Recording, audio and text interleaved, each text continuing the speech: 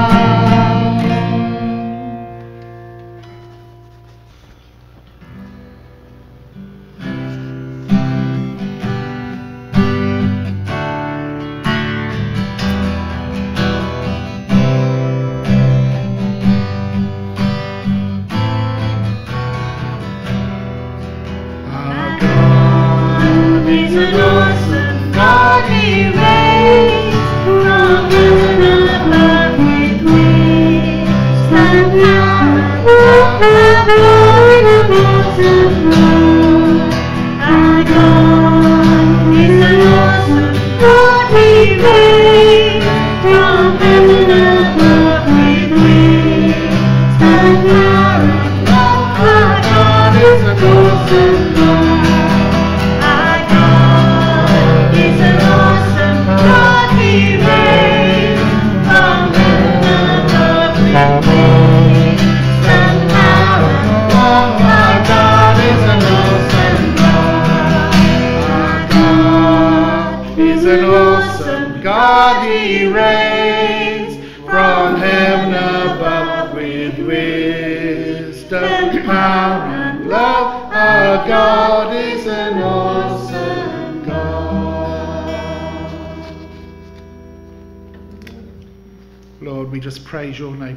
because you are awesome.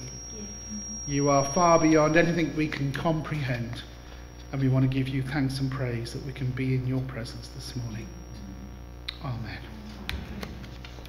Before I hand over to Lee, I did forget two important notices, and the first one is straight after here. We're going to go over to the hall and get grab a coffee, and then we're going to have our members meeting while we're supping coffee. We didn't want to rush you having your coffee, so it'll be members meeting. Those aren't members, you are more than welcome to stay, have your coffee. You can leave at any time. You don't have to stay through all of it, but that's going to happen straight after. And the other important thing, next week, Neen has offered to put on a fellowship lunch. So there's going to be a sign up sheet in the hall next week if you want to stay and have a wonderful Thai meal, I have to say. Then please do sign up and, and it'll be straight after the coffee. We're going to confirm with a sign up sheet. Everyone's going to sign in, all right? Apart from those that aren't here this week because they can't sign up, they're not here, all right?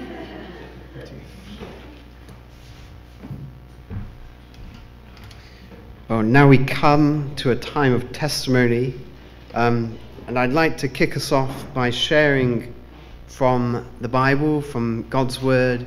You know, yesterday I was doing a live Facebook event, and uh, you know, we were going through it, and then someone said something that just made me realize what a gift the Bible is to us. Um, I mean, in many places in the world, or some places in the world, they do not have the freedom to read the Bible. And so, you know, the fact that I can stand here with this book in my hand without fear of being killed or put in prison, I mean, what a wonderful gift um, of grace from God to be able to stand here and share from this book.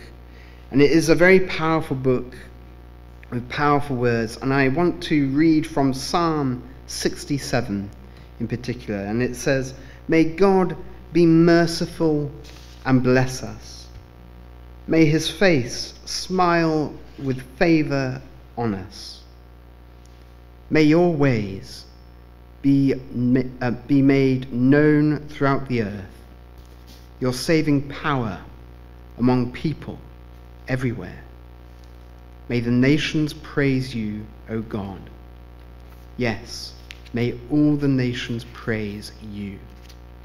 Let the whole world sing for joy because you govern the nations with justice and guide the people of the whole world. May the nations praise you, O God. Yes, may all the nations praise you.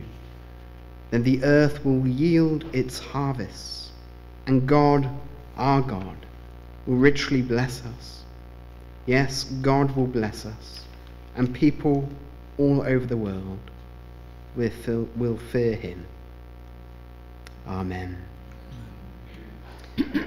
yeah, I was just thinking over the last two years and how um, God has given me this personal gift of a ministry called Revealing the Heartbeat of God. and it's such a gift to be able to interact with all the different nations across the world. And the thing that encourages me the most is just to hear people from all the different nations confess their faith in Christ and to confess how they have this beautiful friendship with the Lord Jesus Christ. And I, I share that because we are in this small village, um, and sometimes we just need to realize we're not alone in our faith in Christ. And there are people right across this planet, like us, who love to gather together to love Jesus and give Jesus all the glory and all the praise. So, that's my bit. Um, do any of you have uh, anything you would like to share or a prayer request? Uh, don't feel pressured, but I'm offering that now. I'm picking up a theme here. um, there was a verse in the, the, Psalms this week I was reading that says, uh, Trust in the Lord and he will give you the desires of your heart, um, which is a lovely verse. And um, funny, in my dreams this morning, it was like I was somewhere where people were speaking about prayer. And, and the prayer, prayer is all to do with talking. And it just, it just came to me I was to, to say, prayer isn't just talking to God. God speaks to us. And he can speak to us in lots of different ways through his word, through other people, through our circumstances, through the environment around us. And, and I was also going to say through, through dreams and visions, because people, has, you know, God has spoken to people in the past. and it, it, just it brought to mind that, because um, I love art, I like doing pictures. You remember, remember the story? Years ago, I was at a, a conference where they were selecting people for a um, counselling course, and the we were waiting for individual interviews, and they said, well, just draw something that's got some connection with your life. And I thought that this is 1992, right? I thought, I love gardens and I love the country. So I, I drew this garden. You've heard this story before, haven't you? I drew this garden with a seat in it, and it had a, a gate and a pond and flower beds and a vegetable patch. And the gate went out into fields, and there were hills beyond the fields. I never thought any more about that. And I explained, I suppose I've been in London now nearly tw 20 years, and I, I really feel, um, sometimes I feel trapped. I want to get out, I want to be able to get out, because it takes two hours to get out to the countryside. Anyway, so it's your heart's desire, really, isn't it? And you know, when we moved here, we were looking for a house. We looked at two places in the village, and they weren't appropriate. And we went, went to see the bungalow in um, Chipping Norton. We put an offer on it. And it wasn't till after we, we got there, I stood in the garden. I thought, blow, uh, the picture came to mind, blow me. This is what I drew 1992. The Lord will give you the desires of your heart. So, yeah. Dream dreams, see visions. And, yeah.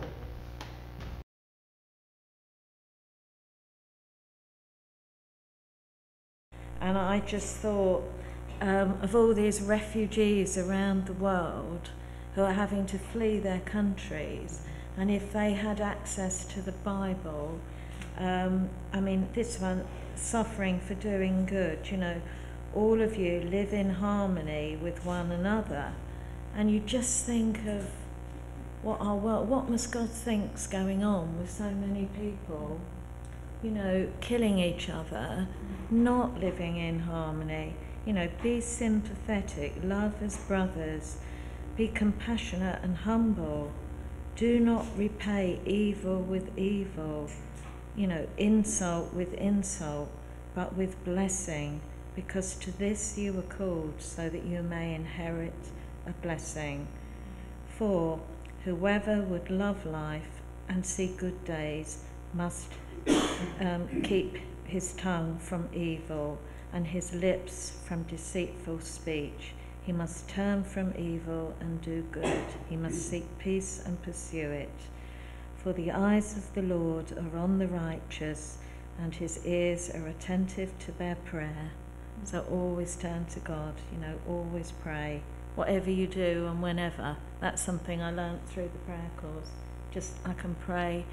I always thought I've got to dedicate a particular time, and it's just so much better when you just pray all the time you know, thank the Lord that we're here. Thank the Lord that the sun's shining today. Thank the Lord that we're in this fantastic village and that we have each other. You know, there's just so many things to be so grateful for. But the face of the Lord is against those who do evil. And I just, with reading Revelation and different things, I just think we're we're so blessed to have our Lord and have access to the Bible that keeps reinforcing us and telling us what we need to do. So thank you, Lord. Thank you.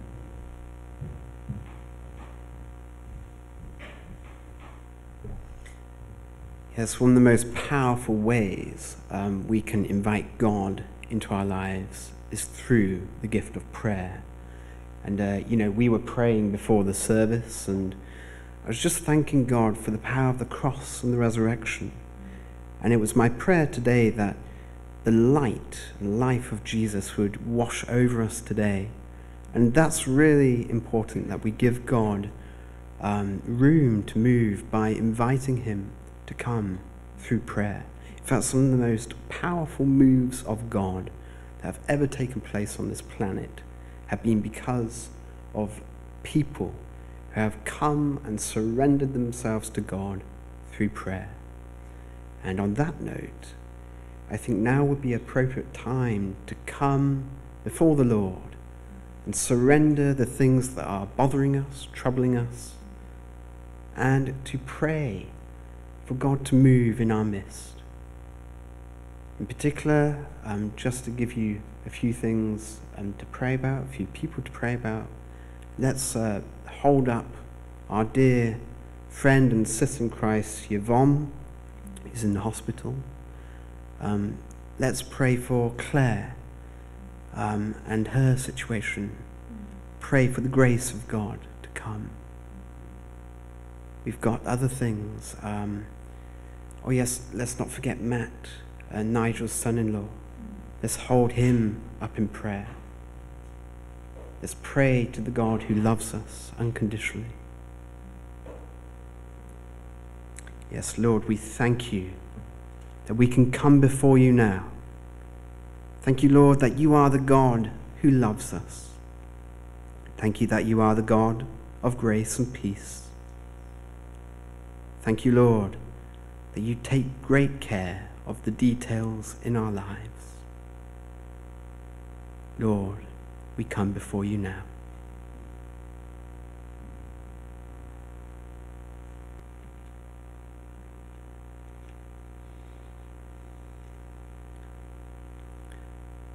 Yes, Lord, we thank you so much for the gift of prayer. Lord, we thank you so much for your gift of love. Lord, we thank you that you have heard our prayers this morning. Lord, I thank you that you are moving on our behalf, even now as we sit here.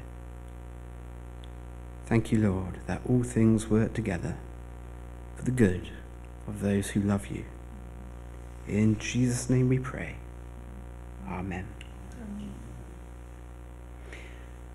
Now uh, we are going to sing our next song. We want to see Jesus lifted high.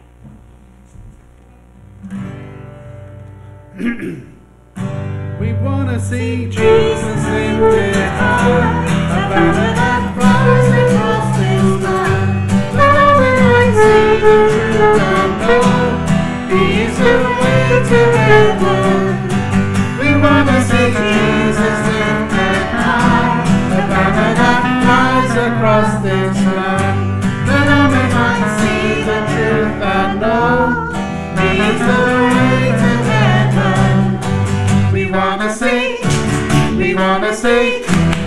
Wanna see Jesus lifted high. We wanna see, we wanna see, we wanna see Jesus lifted high. Step by step we're moving forward, little by little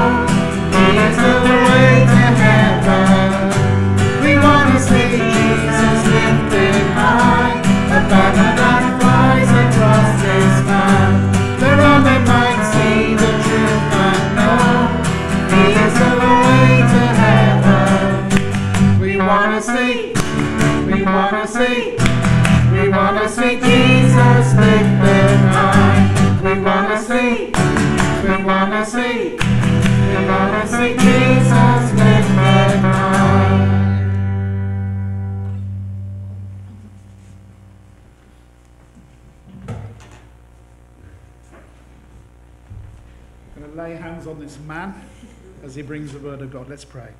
Heavenly Father, we just pray that you anoint Lee now with your Holy Spirit and your words would be upon his lips and our ears open to hear what you have to say to us. In Jesus' name, amen. Amen. Thank you. Morning, folks. Right, let me get myself sorted out here. There we are. Right, well, what am I going to share with you? Okay, well, um, it's quite interesting, really, to observe what is happening because obviously we've got our renovation project coming up. The plans have been finalised now, have they? Yes, great. So, you know, it does appear that as a church, we're coming into a building season. Now, you know, as I've been interacting with the different peoples of nations, um, I've noticed it's really quite uncanny because people keep saying to me, I sense like um, we're in a building season. We're in a season where God is building things. Um, he's building our faith, building hope, building love. And you know, I'm sat there thinking, wow, this is all very interesting, Lord. You know, um, but what does that practically look like? Um, so today I am sharing, um, hopefully, what will be quite a practical sermon. Now, in the Word, in the Bible, the Lord talks about how His Word is like a fire. In fact, in Jeremiah 23, verse 29, it says, Does not my Word burn like a fire, says the Lord? Is it not like a mighty hammer that smashes a rock to pieces? I thought, oh, wow, okay, maybe God is building a fire of His presence, a fire of the Holy Spirit, a fire of hope, faith, and love in the hearts of God's people. And then I got thinking about that. Well, what does fire do? Well, fire, it releases light and life. Well, that's what we're called to do, isn't it? We are essentially called to be like a fire of the Holy Spirit that shines with the light of Jesus, shines with the hope, faith, and love of Christ. And in fact, in John 6, verse 63, um, Jesus hits on this point exactly. He says, um, The Spirit alone gives eternal life. Human effort accomplishes nothing. And the very words I have spoken to you are spirit and life. And so, really, today, folks, what I want to go through is uh, how to build a Holy Spirit fire in your life. Now, I don't know about you, but if you've ever gone camping or if you were like me as a kid, you know, um, we used to have bonfires. I don't think you can have those so freely now. But um, you used to have to clear a place for the fire, didn't you? You had to make a place for the fire. And so in our lives, we need to learn how to clear out the things that are not going to be helpful. We need to learn how to clear a place so that the fire of God, the fire of hope, love, and faith, the fire of the light and life of Jesus can burn brightly in our hearts. So, how do we do that? Well, in order to clear a space for the fire of Holy Spirit, for us to burn like a fire for God, what we need to do is we need to come and um, examine um, to see if there's anything that may be hindering or entangling us in sin. So, for example, in Hebrews 12, verse 1 to 3, um, it talks about how we're surrounded by a great cloud of witnesses and how, you know, we need to get rid of those things that easily hinder us or entangle us. Now, one of the tools that I use to make sure these um, things are cleared out my life, the things that hinder us, um, this is what I call the colored lenses that skew truth tool. So it's very simple. Um, it's all about examining beliefs and exchanging um, those lies or the issues, the things that hinder us, um, exchanging those things for the truth of Christ. So there's some very simple questions you can ask yourself. The key question here is there a lie I am believing? And uh, you, you can ask yourself, God, is there a lie I believe about you or myself? Because, you know, when we have a colored lens, if we don't believe God is a God of hope, faith, or love, that can really hinder the fire of God in our lives. When we don't believe we are significant in God's eyes, when we don't truly believe the Bible, um, why it tells us that we are precious in the eyes of God, that we have victory in Christ, that we have a hope, faith, and love, an eternal life in Christ. When we don't believe these things, um, those, those beliefs, they act like a color lens that act like a hindrance to all that God has for your life. And so by asking yourself, going to God, when you go to God, you can ask God, God, is there a lie I believe about you or myself. And then what you can do is you can ask God, God, where did I learn this lie? Um, you know, when was the first time this um, hindrance, this blockage, this colored lens, when was the first time it entered into my life? And um, typically you will find that there are three colored lenses that um, people often struggle with in life. Three colored lenses that prevent the fire of God and the life of Jesus from really taking place in our lives. Um, and those three lenses are this the number one, the victim mindset. So when you come across a person who has the victim mindset, um, these are three typical statements that you hear um, people who are struggling with victim mindset. These are three statements you hear them say. So, number one, nothing is going to work out. Why try? A very common statement. You can hear that um, as uh, undertone sometimes in people's conversation. Um, second one, everyone will get blessed but me. And then number three, my life will always be hard. So that's the first colored lens. And, you know, as I'm saying these things, you may actually begin to relate to these. Well, that's okay, because I'll show you how to deal with that.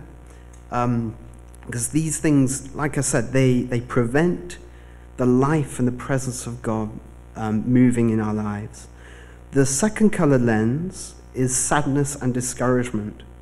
So here's three statements you hear people often say or believe when they're struggling with a sadness and discouragement lens.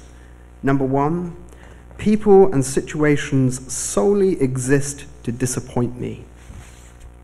Two, sometimes it's too hard to get out of bed. And number three, no one understands me. So sadness and discouragement often manifest through beliefs and um, thoughts, statements like that. And then um, the third colored lens is fear and self promotion. So here's three statements you hear people say when they're struggling with fear and self promotion. One, if God is not going to promote me, who will? Um, two, I just don't carry enough of God's favor and grace. And then number three, if I work hard enough, then God will promote me. So, just to recap, the three color lenses that often prevent us from shining with the light of God that often prevent the voice and presence of Jesus moving in our lives. Um, they are number one, the victim mindset, number two, sadness and discouragement, number three, fear and self promotion. And as I've been speaking about these things, you've probably been sitting there, you may have sat there and realized, oh, yes, that does go against some of the truths of the Bible. For example, God has not given us a spirit of fear, but of love, power, and a sound mind. Oh, yes, Paul the Apostle says to rejoice in the Lord and rejoice always. The joy of the Lord is our strength. Well, sadness and discouragement mindset, that goes against that. Oh, the promotion thing. If I work hard enough, then God will promote me. Well, doesn't it say in Romans that, you know, grace is a free gift and God freely gives and blesses his people with love? and hope and faith, things of that nature. So, you know, what do you do when you've found these things that are hindering the fire of God in your life? Well, number one, you can do something very simple and you can just renounce the lie. Or sometimes, you know, um, if you discover where these mindsets entered into your life, sometimes there are people and situations that are wrapped up um, with that memory where you know the colored lens entered into your life. And um, you know in that case sometimes you need to forgive people. Sometimes you need to forgive the people who caused you to act like a victim who caused you um, to feel sad and discouraged or fearful or you know the people who cause you to feel like you need need to work hard to promote yourself in life and so, you know, what you can do is very simple. You, you can just go to God and say, God, I choose to give to forgive this person because of the way they treated me, which led to me believing that I am a victim, believing that I am sad or discouraged, and to feel fearful and like I have to promote myself. And obviously, you can, you know, do this in a personal way that's relevant to you. And then what I like to do is I like to say, I, I renounce the lie that I'm a victim, or I renounce the lies of sadness and discouragement. I renounce the lies of fear and self promotion. And I repent for partnering with these things, Lord. Jesus, I hand this to you. And then, you know, you can do this as many times as you feel you need to. So you, you can go to God or Jesus and say, Jesus, is there anything else holding me back? And obviously, you can repeat the process. I renounce this lie. I forgive this person. And it's important that we do that because God does give us the gift of forgiveness. And the gift of forgiveness is to help us do that basic, what I call spiritual house cleaning. So these um, color lenses, you know, when we're dealing with these things, when we're renouncing the lies that we're believing, when we're um, forgiving people, it's what I call basic spiritual house cleaning. We are a temple of the Holy Spirit. That's what the Bible says. And sometimes, if not regularly, we need to perform regular house cleaning in our spiritual lives. Otherwise, we will get very dusty, very dusty with despair, disappointment, hopelessness. Well, you know, when things are dusty in your house, it begins to make things look very dull, doesn't it? Because there's just a blanket of grey dust everywhere. You know, I'm thinking of those old abandoned houses where everything's dusty and it just needs, you know, a, a good house clean. So that's why I shared this with you, because this is a very powerful tool to clear things out the way so that you can build, or so that God can build a fire in your life. And really, that's the main thing I wanted to touch on, on today, because that is half the battle. Dealing with these colored lenses um, that prevent the presence of God from moving in your life. That is half the battle. Um, so, yes, you know, we, we can go to God and exchange um, these things for His truth. And I mean, just, um, just to throw some more ideas out there, um, you know, we can ask ourselves questions to identify um, the roots of these mindsets. So, you know, number one, does this thought align with Christ's teachings? Number two, is this lifestyle leading to or from Christ. And, uh, you know, there's other things that, um, other lenses like anger, bitterness, offense. Anger eats away the vibrance of the soul. Bitterness of the soul devours the joy of the heart. Offense quenches the life and light of the spirit. Anger, bitterness, offense need to be actively renounced with the help of the Holy Spirit. So, number one, we identify the issue by asking God to show us anything we, that may be hindering us, anything we may be believing that is not of God. Number two, we renounce the issue and forgive people. And then number three, we can go to God to exchange the lies, the issues for the truth. And after that, you've cleared a space for the fire of the Holy Spirit. So, what do you do after that? after you've done your basic house cleaning and there's a space for the fire of God to be built, well, number one, you collect the wood, don't you? You know, you go out and collect the wood. So, what does that look like? What's that um, going to look like practically for us? Well, we collect spiritual resources such as testimonies and scriptures. Um, testimonies are important because the Bible says in Revelation 19:10, the testimony of Jesus is the spirit of prophecy. In other words, when we hear a testimony, it speaks into our life. It speaks a transformational word into our life. Now, can you see why I took us through the whole colored lens thing, um, the house cleaning thing? Because, you know, if there's something, if we've got walls around our hearts, um, you know, blockages of despair, disappointment, sadness, fear, whatever that is, well, you know, when you have that blocked around your heart, when someone speaks a testimony to you, if you have that blockage, you know, the, the words of life and light are just going to bounce off because you've got those things around your heart. That's why it's important to clear those things out the way so that these powerful testimonies of the Lord, the scriptures in the Bible, can be spoken into our hearts so that God can start to pile up the wood, if you like, ready for the ignition of the Holy Spirit, the ignition of the light and life of Jesus Christ. So, in other words, what I'm saying is once you've cleared the house of colored lenses, once we've cleared our hearts of those things that block God, feed on the things of God. Okay? Like I said earlier, it is the Spirit who gives life. The flesh is no help at all. The words I have spoken to you are spirit and life.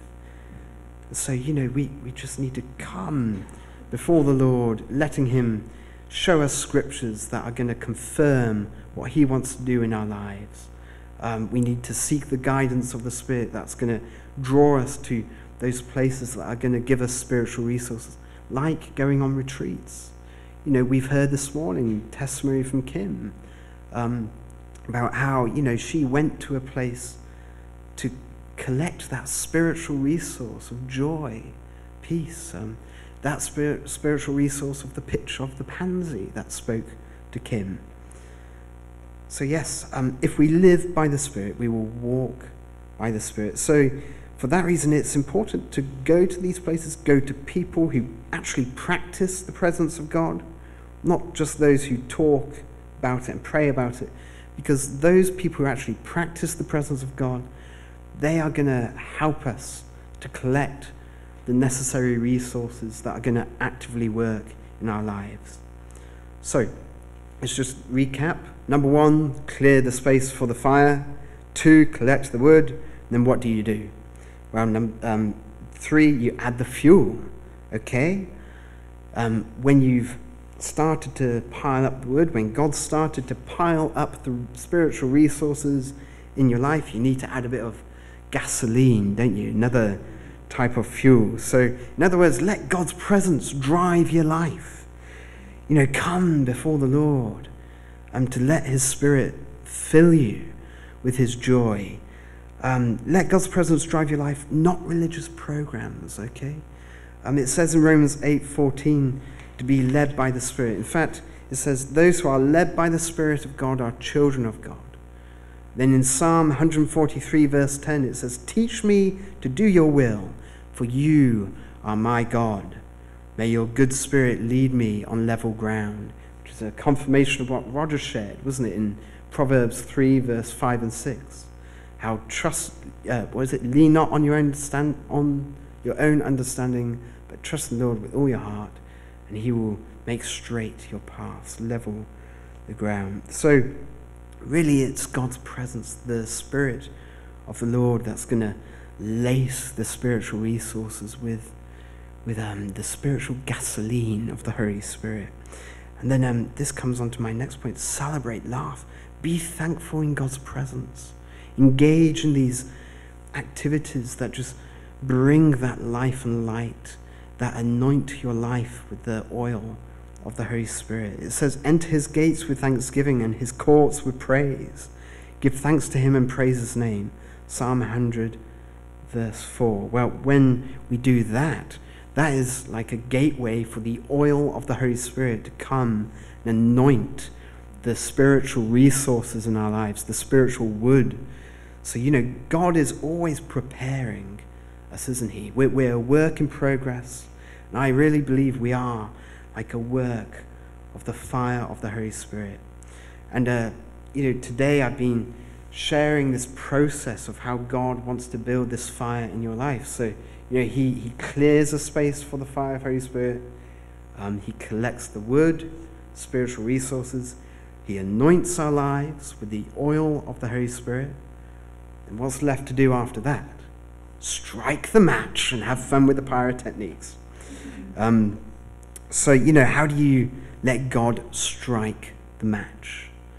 How does the Lord ignite our lives. Once um, things have been cleared out the way, once we've collected the wood, once the um, fuel has been added, the oil of the Holy Spirit, well, we take risks. We step out in faith. We put our faith into action. In 1 Corinthians 2, verse 4, it says, I don't come to you with clever arguments or debates or words, persuasive words. I come to you with demonstrations of the Spirit. In fact, I was talking to Pete, was it this week, last week? This week. Sorry, I can't remember what happens two days ago, yet alone like two weeks ago. But yeah, I was talking to Pete, and we were um, talking about different situations in the church. And there is a difference between those who just talk and those who walk the walk.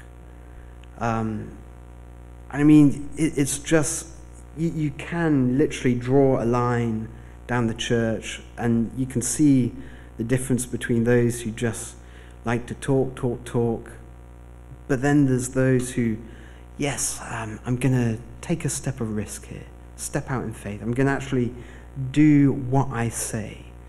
Um, and that's really important to have that kind of integrity and to actually do what you say.